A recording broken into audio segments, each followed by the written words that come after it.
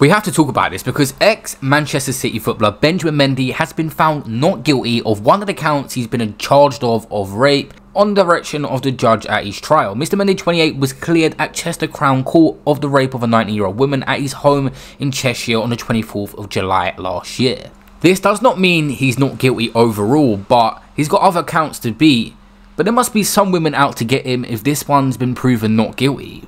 Could he beat more of these possibly and even the whole thing? Let's see how this case actually plays out. A lot of women have accused him. It's going to be a tough one, but he's already beat one of these cases. Could you guys actually imagine the shock and the damage to his career if he manages to beat all of these cases? Like I said from the start, until it's proven in court, people are not always guilty. But leave a like and subscribe and notification bell and I'll keep you guys updated.